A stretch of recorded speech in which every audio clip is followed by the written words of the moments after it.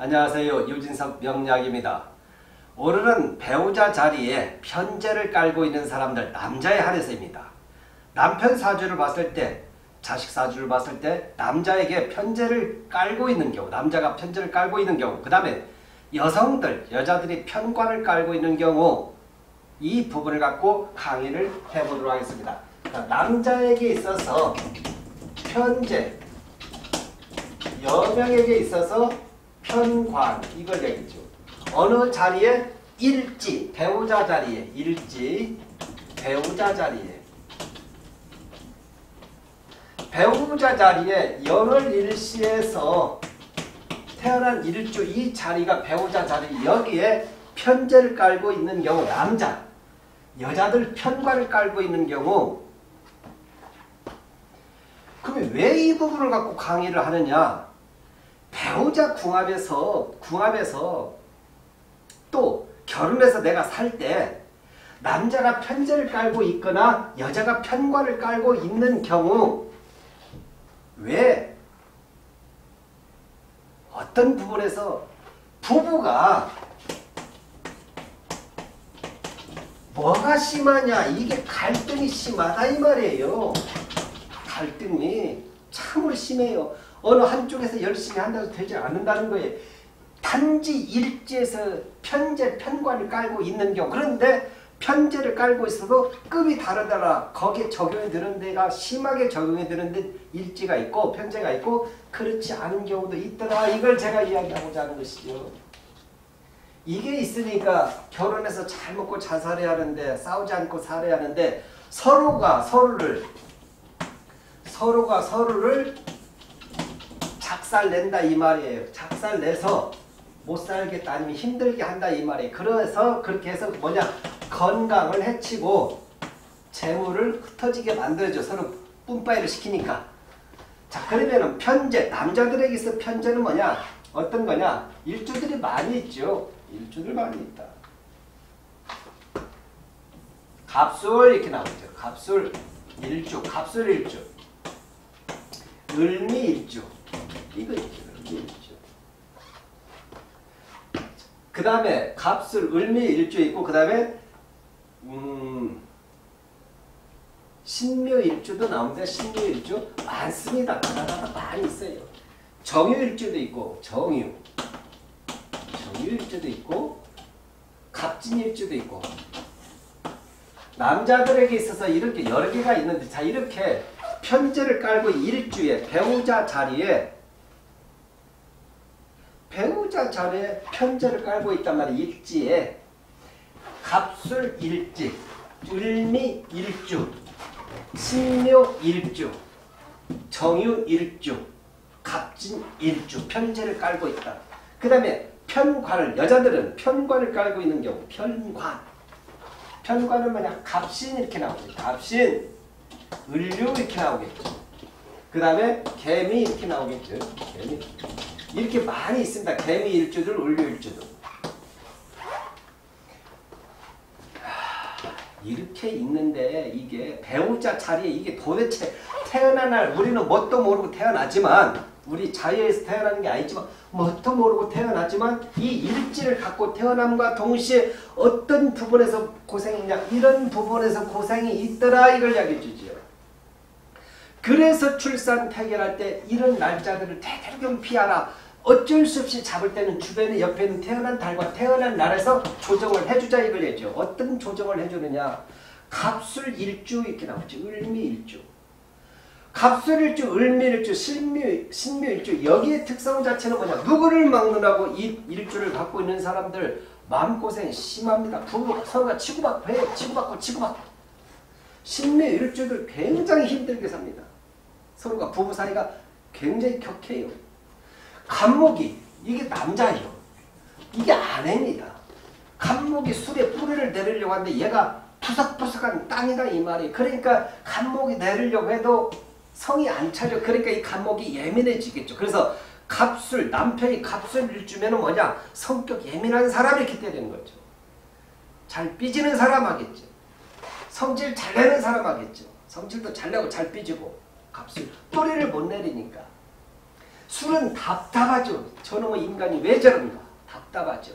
그러나 한편으로 생각하면 아 내가 배우자 자리에 있으니까 내가 열심히 뭔가 하려고 해도 이게 푸석푸석한 그런 흙이니까 뿌리를 못 내니까 자기가 성장을 못하니까 화딱지가 난다 이 말이에요. 그래서 성격이 안 맞으니까 치고받고 하자 이걸 치고받고 하다가 잘 되면 이혼이고 사별이고 잘못되면 끝까지 산다 이 말이에요. 자 그런데 이렇게 있을 때 옆에 수기운이 잠깐만 있다면 어떻겠냐? 수기운 자체는 뭐냐? 해자죠 해자축 진 신이겠죠. 해자축 진신. 해자축 진신이 조금이라도 옆에 수분기가 태어난 달에서 이렇게 태어난 달이나 태어난 시에 해자축 진과 신이 있으면 괜찮죠. 그래도 괜찮다는 거예요. 여기 일정한 수분 공급이 이루어지고 있으니까 그럴 때는 괜찮은데 이것마저도 없거나 이것이 있는데 운에서 깰 때 이때가 건강에 대한 부분에서 하자가 생긴다 이걸 이야기해 주요 하자 건강. 을미도 똑같습니다. 을이 미에 뿌리를 내려고 하는데 죽어도 얘가 못 켜줘요. 을의 입장에서 남편 입장에서 아내를 봤을 때 저 인간 도대체 내가 아무리 해도 못 알아듣는다 말귀를 못 알아듣니까 을목은 답답해하죠. 그러니까 미에서는 보죠. 아내 입장에 저놈의 인간이 왜 이렇게 예민한 뭣도 아닌 놈이 저렇게 성질만 낸다고 하겠죠.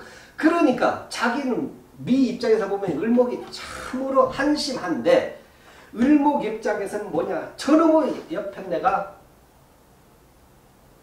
말귀도 못 알아듣고 미는 콤택이다 이 말이에요. 그러니까 서로 치고받고 하는 것이 치고받고 이렇게 치고받고 하는데 뭐냐 이렇게 가면 계속 아파요. 누가 아프냐 을목이 아파요. 근데 을목이 아프니까 시름시름 왔다가 잘못 사주 구성이 안 좋으면 이때가 안 좋죠. 딸랑 간다 이 말이에요. 여기는 어떻게든 버티면 가다 이런 경우는 좋지 않습니다. 그러다가 신묘는 뭐냐? 신변을 계속 치고받고 해요. 아침에도 안 맞고 저녁 때도 안 맞고 밤, 밤에도 안 맞고 서로가. 근데 여기 안에 이 주변에 이 물기운만 있으면 조금 괜찮다. 물이 있을 때는 괜찮아. 근데 얘가 이렇게 있을 때 사주를 탁 보는 순간 이런 일주를 갖고 있는데 주변에 해자축 신진, 해자축 신진, 수분기운 있잖아요. 다 수분이 물을 가지고 있는데 물 공급이 이 글자 옆에 없을 때는 얘 참 답답하고 힘들다는 거죠. 이 사람들 누가 위로해줘야 합니까? 그렇죠. 옆에 사람들 위로해 줘야 하는데 안 위로해 줘. 왜? 이렇게 있는 사람 사방팔방 둘러봐다 을목, 간목 이런 애들은 신묘. 주변에 이것이 없는데 누가 도와주냐고 안 도와주잖아요. 자 주변 다 둘러봐도. 이게 도움 세력들인데 인성으로서 도움을 주는 세력들인데 없다는 건 인복이 없는 거잖아요. 그러니까 도대체 주변을 둘러봐도 도움 세력이 안 되니까 치고받고 할 수 있는 것은 뭐냐 아래밖에 없다는 거죠. 이 입장에서 당하니까 속상하겠죠. 그래서 이렇게 있을 때는 뭐냐 이 간목에게는 가장 중요한 게 오행상 수다 이 말에 수, 수, 수를 수생목을 해주잖아요. 그 간목에게는 가장 필요한 것이 이 술토가 당신 최고다 이렇게 격려를 해줘야 한단 말이에요. 자존감, 수, 수생목을 해줘야 하니까. 안 싸울 수 있는 방법은 그거밖에 없다는 거죠. 그런데 답답하지. 이 토는 뭡니까? 감목에 있어 아내는 뭐냐 돈이에요. 돈 술에서 보면 돈이단 말이에요. 돈만 갖다 좀 벌어서 주면 되는데 이 술 입장에서 돈을 안 벌어다 보니까 화딱지가 나는 거죠. 돈 갖고 인색하게 구니까 이런 부분이 다 이런 식이 설명이 되겠죠. 그런데 편제인데도 정유 이렇게 되잖아요. 편제, 갑진, 편제 이렇게 같은 편제인데도 이 정유나 이것은 괜찮아요. 얘는 정화는 유금 자체를 굉장히 녹여 새롭게 변화를 시켜주니까 너무 좋아요. 극하면서도 괜찮아. 그게 싸우고 치고 받는 것이 결국 뭐냐 좋은 발전을 위한 기운이다 이걸 이야기해 주겠지. 괜찮지 이것은 그래도. 갑진도 옆에 어떤 글자 있든 간에 갑진이 갑목이 진에 뿔을 낸 다음에 극하면서 뿔을 내니까 그래도 괜찮아 이 편제. 같은 편제라도 틀리더라 이 말이에요. 쭉 다 보면. 갑신일주 편과 을료일주 개미. 이 개미는 진짜 잘못하면 옆에 주변에 수분 기운이 없으면 해자축 신진이 없으면은 얘는 진짜 건강에 대한 부분. 이 신랑이 아프 아니 본인이 아파요 아내가 남편에 의해서 남편 때문에 나 죽겠냐 하겠죠. 개미 결혼하고 난 다음에 하, 정말 힘들어한다는 거죠. 신랑 때문에. 그런데 당연히 옆에 해자가 있거나 해자가 있거나 축이 있을 땐 그래도 괜찮다. 약간의 수분 기운이 있으니까 그런데 이건 마저도 없어. 여기에 없어. 없고 했을 때는 근본적으로 약하다 이 말이에요. 그런데 있는데 운에서 대운이 들어서 얘를 깨버렸어. 얘가 있는데 그럴 때 건강에 대한 이상이 생긴다 이렇게 설명할 수 있겠죠. 자, 갑신일주 여자입니다. 여자. 편관이죠. 편관, 편관. 자, 간목에게는 아내가 남편을 보고 정말 예를 들면 마음에 안 드는 거예요. 정말 아무리 잘해도 마음에 안 드는 거야 신랑이. 안 되니까 힘들겠지. 을류 굉장히 힘들겠죠. 근데 이 셋 중에서도 벌써 순서가 있어요. 이 개미는 융통성이 없어요. 사방팔방 둘러봐도 이 개가 밑속에 인묘돼서 나 죽겠네 한다는 거죠. 치고 받으면 그냥 목숨 걸고 싸우고 힘들어진다. 결과가 없는 싸움을 한다 이 말이에요. 결과가. 결과가 없는 싸움은 뭐냐? 정말 일방적으로 아픔을 받는 싸움을 한다는 거지. 그런데 갑신은 신속에 임수가 있다 이 말이에요. 임수가.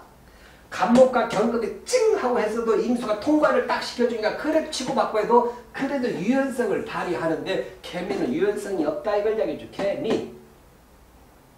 여기에 금이 있으면 괜찮아. 금이 없으니까. 여기는 을류는 얘보다는 그래도 조금 얘가 순서 가장 이게 참 깝깝하고 두 번째 깝깝하고 여기는 그래도 좀 낫다. 왜? 여기도 수가 없어요. 오로지 을류 야 그냥 맨땅에 헤딩한다는 걸 이야기해 주겠죠. 그래도 얘는 뭐냐면 인묘 들어가서 나 죽겠네 하고 나 죽어 하고 죽는 건데 이 을묘는 너 죽고 다 살자 하는 거죠. 치고받고 하자는 거지.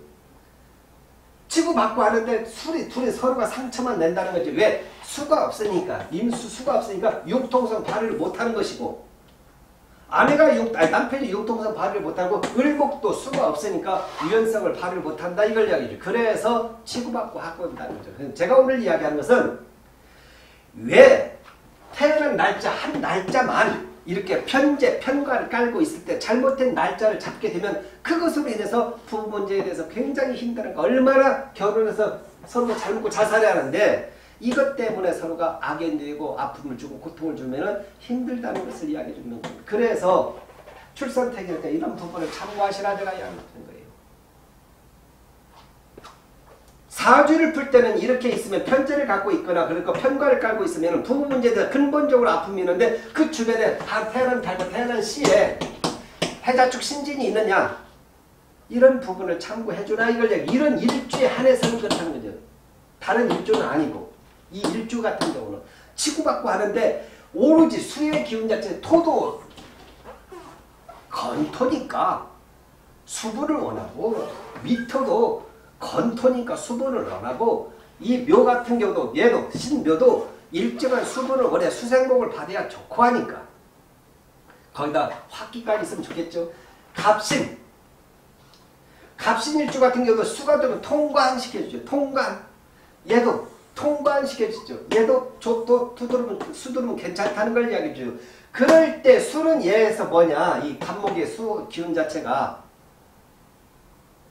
인성이라는 거죠. 갑과 을을 같은 경우는 인성은 자기를 이렇게 도와주는 거죠. 그래서 이런 경우 갑신일주 을류 같은 경우는 이 배우자가 남 이렇게 여자 일주가 이렇다면 남편이 내가 이 을, 갑신일주, 을류일주의 아내를 선택했다면 그래도 내가 칭찬해야 하는구나 해야 돼. 수생목을 해줘야 돼. 길을 살려줘야 돼요. 길을 살려줘도 열 번 살려도 화를 이 간목과 을목은 화를 낸다 이 말에 내가 잘해줘도 그런데 치고받고 하면은 안 좋은 소리는 뭐냐 극단적으로 힘들어할 수 있다는 걸 이야기해 줍니다. 단 다시 한번 이야기합니다. 조건에서 옆에 수기운이 있을 때는 통관을 시켜주니까 금생수 수생목으로 통관시켜주면 괜찮은데 그것이 없을 때 이렇게 있는 일주들은 참으로 배우자 문제에서 힘들어한다 이걸 얘기죠. 그래서 장명에서도 이런 부분에서 굉장히 중요하다는 걸 얘기죠. 배우자 운 할 때.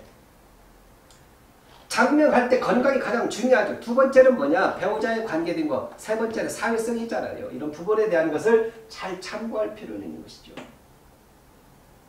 일주가 이런 일주를 갖고 있는 사람이 그렇다.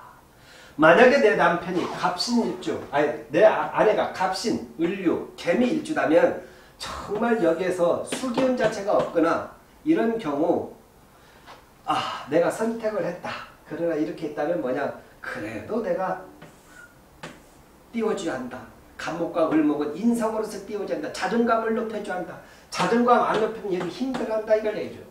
그래서 자존감 높여주고 인성, 칭찬과 격려다 이걸 얘기해주고 또 이 감목과 병화, 이 을목에 그런 병화, 화기를 주면은 그것 또한 좋으니까 무조건 칭찬과 격려다 이걸 얘기해 줄수 있겠죠. 값을 및 남편이 이런 일- 일주를 갖고 있다 그럴 때 아내 입장에서는 어떻게 하냐? 여기도 당연히 수를 갖고 해준다. 수의 기운 자체. 그러니까 이런 경우 편절을 깔고 있을 때 편절을 깔고 있을 때 간목과 을목 신금 일주 같은 경우는 이런 경우는 여하튼 수의 기운 자체가 굉장히 중요하다 이렇게 설명할 수 있습니다. 내가 배우자를 선택하고 결혼했다. 이런 일주다. 아니면 내가 지금 만나고자 하는 사람이 또 이런 일주를 갖고 있다. 아니면 내 자녀가, 내 팔자가 이런 일주를 갖고 태어났을 때 이렇게 일주를 갖고 태어난 사람들 먼저 내 주변에 여기 해자축 신진이 있는가를 봐라. 이것이 없는 상태에서 내가 정말 잘 먹고 잘 사는가 이것을 참고해보는 거 배우자고 그래서 그래도 괜찮은가? 그렇지 않을 겁니다. 거의 대부분이. 그러나 해자축 신진이 있을 때는 그래도 괜찮다. 이것마저도 없을 때는 참으로 고립돼 있다. 힘들한다. 결혼하고 힘들한다. 이걸 볼 수 있고 여기서 잘못되면 정확하게 건강에 대한 부분에서 하자가 나옵니다. 이제. 언제 암 걸리고 언제 건강에 대한 이상이 있느냐 그냥 보면 알겠죠. 을매일주 갑술일주 이렇게 됐을 때 갑술일주다 을매일주다 했을 때 이 주변에 여하튼 오행상 수기운 해자축 신진이 없단 말이에요. 해자축 신진이 없는데 여기에 다시 또 화기가 들어올 때 이때 이 사주는 건강에 것을 잃어버린다. 이걸 본인이 잃어버리죠. 이건. 본인, 이것은 배우자. 이런 부분에서 참고할 필요가 있습니다. 사주에서 일지에 편제를 깔고 있는 남자들, 일지에 편관을 깔고 있는 여성들, 단 그 한 날짜만 날짜에 의해서도 한 날짜에 의해서도 이렇게 배우자 부분에서 힘들 수 있는 것을 갖고 있다. 그래서 출산 태결할 때도 이 옆에 달과 날을 잘 조정해야 돼. 이런 날에 어쩔 수 없이 태어난 상황이라면 태어난 달과 날에서 조정을 잘 줘라 이걸 이야기해 주죠. 그러나 이것마저도 없을 때는 어쨌든 길을 살려자. 어떻게 하냐? 인성으로 살리자. 그래서 물 갖고 키워줘라 이걸 이야기해 주겠죠. 다른 일주일도 다 거기에 특성에 맞게 키워주면 됩니다. 그렇게 상대를 하면 그래도 그것이 하나의 개업법이다 이렇게 설명할 수 있겠죠. 여러분 한번 참고해 보시기 바랍니다. 감사합니다.